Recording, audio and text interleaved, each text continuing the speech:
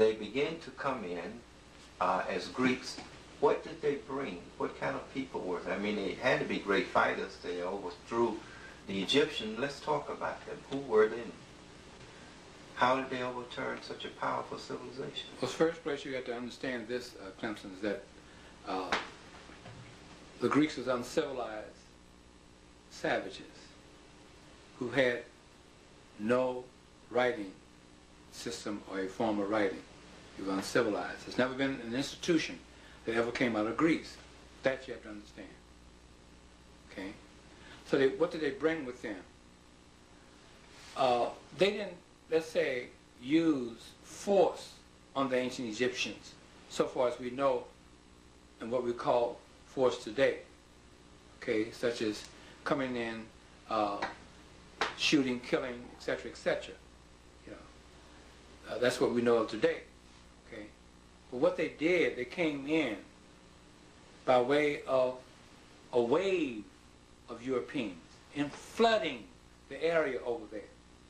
Okay, and they began to take over the control of ancient Egypt and the ancient Egyptians. The ones that resisted them, they're the ones that got destroyed. Okay?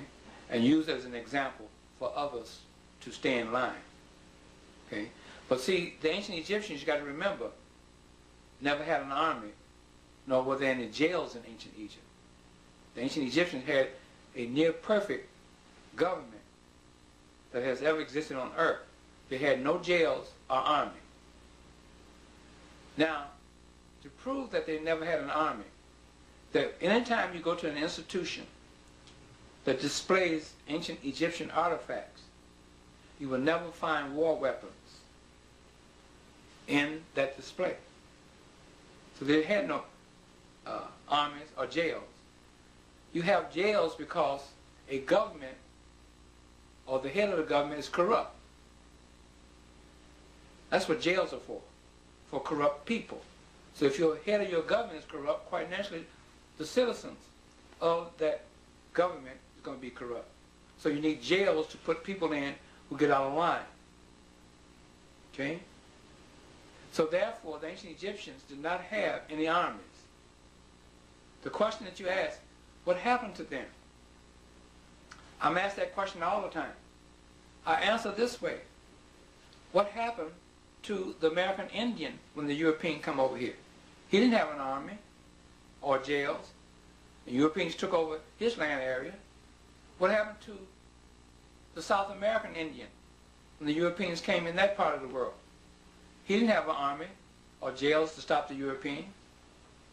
What happened to the Indians of India who the Europeans came in and took over and caused a man that is known in history as Mahatma Gandhi to come into existence, to, to try to uh, uh, throw them off. What happened to the Chinese when the Europeans came in and occupied Hong Kong for 150 years? They just gave it back to China last year, 98. What happened to the Aborigines of Australia when the Europeans came over there? So it's just not the, uh, the, the ancient Egyptians. You've got to remember during the time of antiquity, antiquity, before the Europeans came into the continent of Africa, no race of people, no place on earth had armies or jails. Armies, armed aggression, is a European institution. That's their institution. They were fighting each other and killing each other in Europe before they came out of Europe into uh, other parts of the and areas of the world. They were killing each other over there. See, that's their institution. The rest of the race of people living throughout the world coexisted with each other. The ancient Egyptians civilized this whole entire world.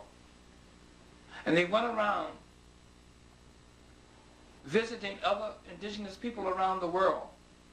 And in so doing, they brought a high civilization to them. They brought civilization to the whole entire planet. And you cannot civilize people and then bust them upside the head at the same time or kill them.